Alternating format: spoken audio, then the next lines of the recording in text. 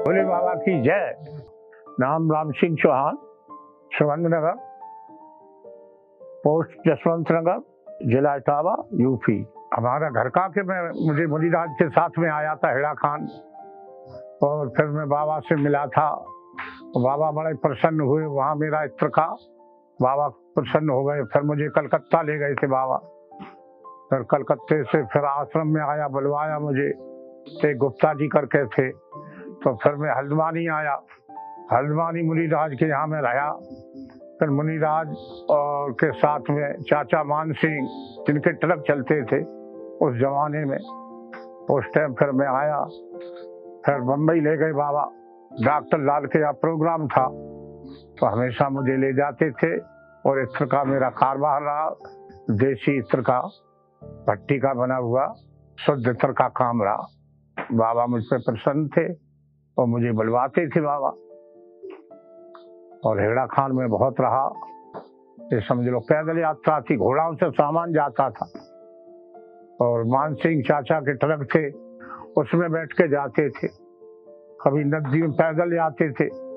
पानी इतना इतना आदमी गिरता था। फिर पहुँच जाता था बाबा के दरबार में।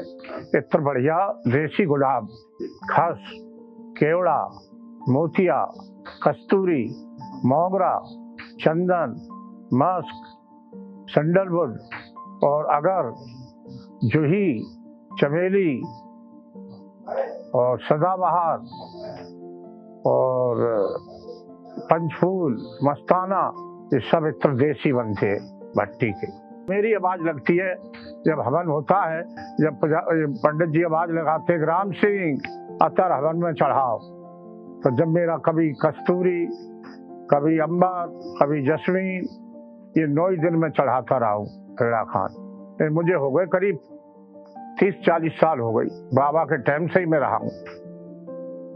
बाबा ले गए थे, जिस जमाने में बाबा कलकत्ता गए थे, एक कोई सेठ थे, उनका कोई लड़का था, पागल सा।